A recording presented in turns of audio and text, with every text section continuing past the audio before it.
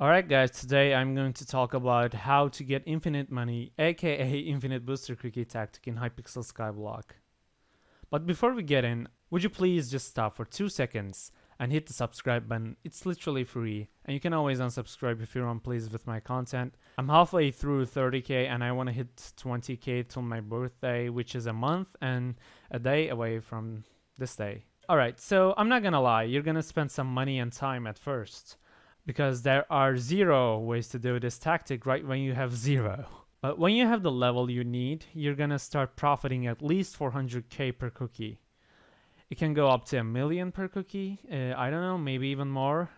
That's where I'm at right now, I'm profiting a million per cookie. So, if you didn't know, Booster Cookie is not only giving you effects and exclusive perks and all that, uh, but also it's giving you bits. And you can spend those bits to have some special items.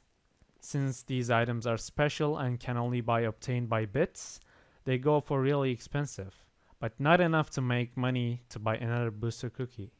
But there are another stat in this game, which is fame. You can get fame level by contributing to city projects or spending bits. Obviously, spending bits gives you more fame level, but contributing city projects is better than nothing. And Fame level is very important. That makes you gain more bits per cookie, which means you can buy more items from Elizabeth and auction more items and gain more money. My suggestion here, just wait till you have 4000 bits and buy this enchanted book. This right here. And yeah, I'm gonna buy it right now.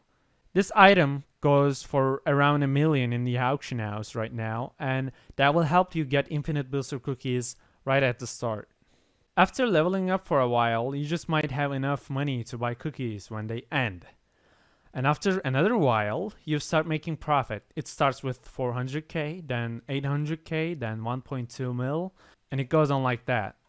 It's nothing like getting a special chest in dungeons which contains Necromancer Lord chestplate, but it's a good regular money making method. Plus, Booster Cookie effects are always helpful, and also I hope I was helpful. Please consider subscribing and I'll see you tomorrow.